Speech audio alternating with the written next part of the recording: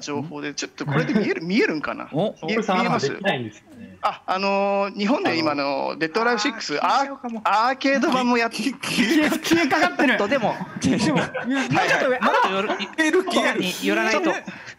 カメラに、カメラに寄ってください。もうちょい前。あでもうちょっと上カメラに余計消えるあれだけになった。口できず。終了。いやいや、ちょっとでき いやいやいやいや、一部板板垣さんはちょっと勘弁してほら、もう原田さんの画面も見てみんな。原田さんどうなもう意味がわからないよ、もう俺には。ジンボルしっかりしろよお前すいませんでした。すいませんでした。いや、ちょ、ま、マジですいません。お前は俺の運命もね俺の分も背負ってんだぞお前頑張れよお前もっといやまあその縦関係あるんですね本当なんか似てますけど、あのちょっとこの辺で、はいアーケード版がですね、8月5日からついにあの玉木デビューできそうです。はい、ちょっとコロナの影響でだいぶ遅れてしまったんですけども、あの今ならアーケードでもお楽しみいただけます。よろしくお願いします。味しめた。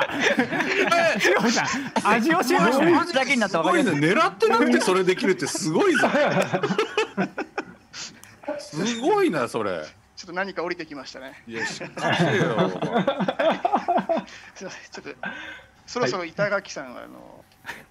はい、あんまり絵が変わらないですね。ああんま変わらないんですねあ、すみません、あの告知としては爽やかな方にしようか爽やかなめっちゃ爽やかですけども。はい、ありがとうございます終了ということであはいりがとうございました。まあ、アーケード版も今あの PS4 版とほぼもう全く同じバージョンになるってことですよね。そうですね、まあ、水曜日8月5日、あのぜひゲーセンに行ってみてください。